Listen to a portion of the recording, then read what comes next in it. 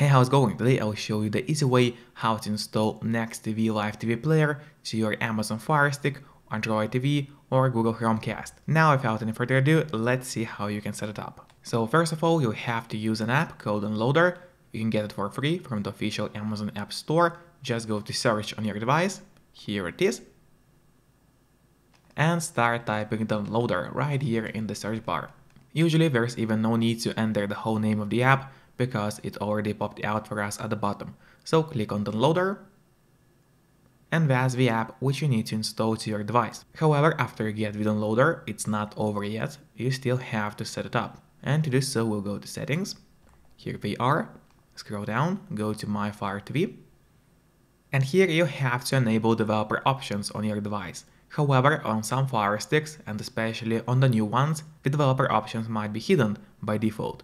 So if that's the case, don't worry, it's really easy to make them appear. Just go to About, select Fire TV Stick, and now you have to click on the middle button on your remote for 7 times. And do it fast, so let's do it.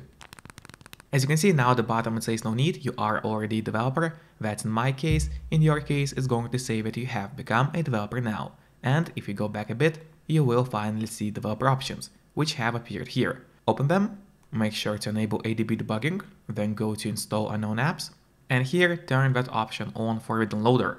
So what it does is going to allow us to install other applications from the internet and not necessarily from official Amazon App Store. And that's exactly what we're going to do right now. So now let's go to the list of apps on your device.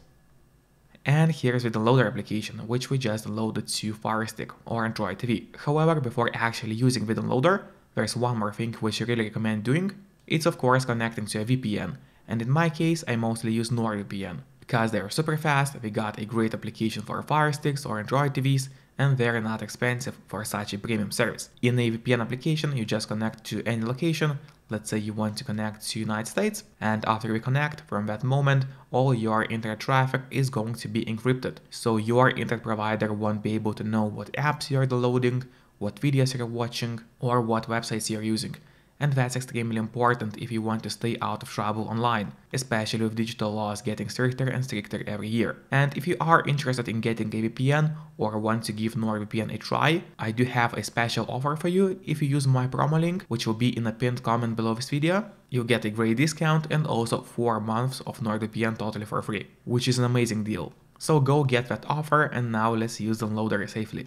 So we open the Downloader application, and here in that search bar we have to enter a link. You'll see it on the screen in a moment. So the app is going to be app.nexttv.fr. Make sure to enter it exactly as you see on the screen, because if you make any mistakes, the link is not going to work. And then click on Go. Then a website is going to open.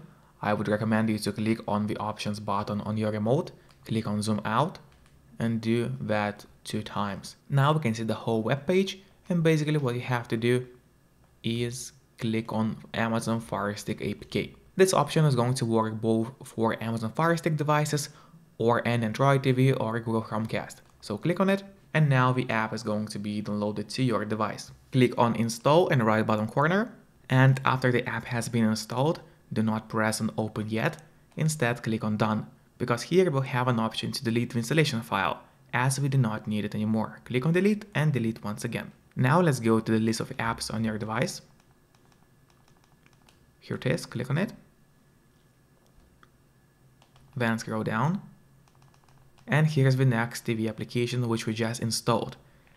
Now I recommend you to click on the options button on your remote. That's the button with three horizontal lines. Click on it. Then click on move to front. This way, the NexTV application is always going to be at the very top of your app list and it will be easier for you to access the app every time you want it. Now, before using NexTV to stream any online content, don't forget to use a VPN to stay safe online and be out of trouble. And then safely open the app. Here you'll see your home screen. For me it says no playlist has been found because I have not added any to the application. In your case, if you want to add a playlist, you simply have to click on that plus button and then click on add playlist. There you can either scan a QR code with your mobile phone. To do so, you would have to enter the website of NexTV on your phone and follow the guidelines there. And alternatively, you can of course use the Xtream code. Here you would enter your host link, which is provided to you by your service provider. then your username and your password, then you click on submit and this way the playlist is going to be added to NexTV application. And alternatively, you can also use OneStream system.